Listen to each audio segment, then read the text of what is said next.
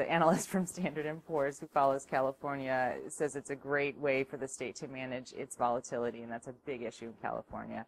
Um, and uh, Pew states, which has done studies on state volatility, we've written about it in the magazine, they really like the idea too. And uh, Pew especially likes when states try and do something about their volatility, like tie it to savings. So that's exactly what California is trying to do. The folks from the education side, there is an educational funding component to this that won't really kick in immediately, at any rate, for the first few years, if this passes.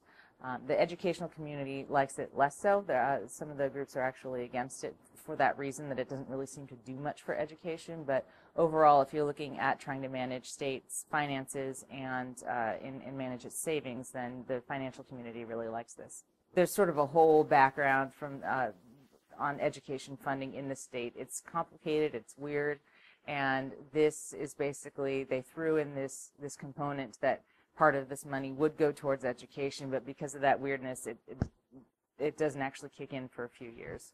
The big one, which is attracting lots of money, as all California ballot measures do, uh, would raise the cap on non economic damages from malpractice, things like pain and suffering, from 250,000 to a million. The more interesting part about that issue is the fact that it contains a number of other things that are, I guess you could call them sweeteners, um, to get voters to vote for them. I mean, proponents have admitted as much. They've basically included a lot of different things in this medical malpractice measure. Opponents would say, well, that's because raising medical malpractice isn't a terribly popular policy change. A lot of people argue it's just a giveaway to trial lawyers.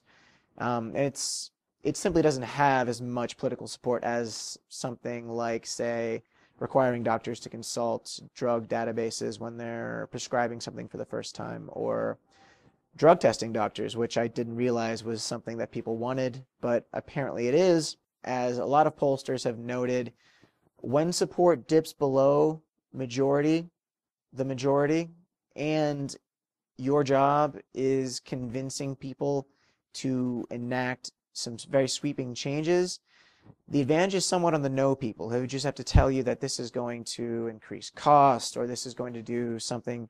All they have to do is plant a bit of doubt, and voters are going to be reluctant to enact so many sweeping changes when they have some shell of doubt.